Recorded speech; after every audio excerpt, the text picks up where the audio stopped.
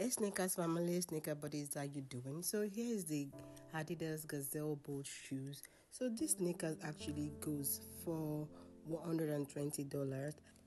The Adidas Gazelle shoes are boosted to a new height with a triple stacked outsole and an expressive color story like forget it.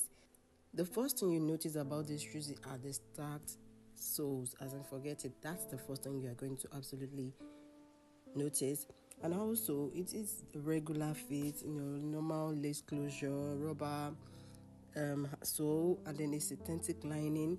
Then it has this rubber platform also which we've actually discussed and it comes in different and various colors about 10 colors. And this is unisex a guy can wear it a woman can wear it. As in let, let me just call it non-binary at this point because it's that stylish and it's that wearable and it goes with absolutely everything and then your choice is actually unlimited when it comes to this gazelle shoe talk about pop of colors but my favorite of all this is the white. Like, you know, I'm very minimalist when it comes to my dressings and all that. So I'm definitely going for the white. If you agree with this, please drop a comment down below and let me know which of this gazelle you are going to be wearing or you're going to be buying. Because this is absolutely a good book from Adidas and I really appreciate it. So guys, thank you so much for watching.